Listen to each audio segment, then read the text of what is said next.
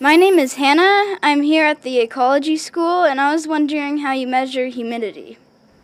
Hannah, that's a great question. You know, it's a simple answer, but it's also a complicated answer. So let me try to explain what we're talking about. Measuring humidity by itself, we use what's called a hygrometer, like a thermometer or barometer, but this one just measures moisture, the amount of water vapor in the atmosphere. Here's where it gets complicated because humidity by itself isn't really that useful because humidity changes with temperature, meaning on a winter day, you can have 80% humidity but it's not muggy outside, it's the middle of winter. So what gives?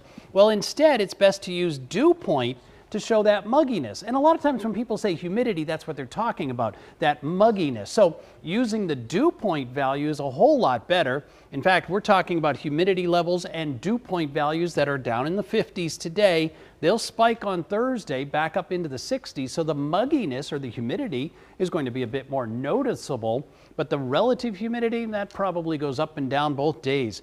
In fact, uh, you can see by the time we get to the weekend, that dew point back up into the 60s. And once again, we're talking about it being more muggy. And if you watch often enough, you know I use the dew point almost all the time to talk about the humidity. John?